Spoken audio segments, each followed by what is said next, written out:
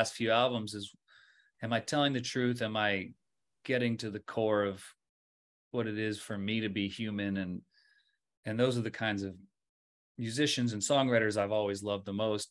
Paul Simon, Stevie Wonder, the Beatles, um, people that really get to the the core of what it is to be human, but mm-hmm. hopefully with like a catchy ass song.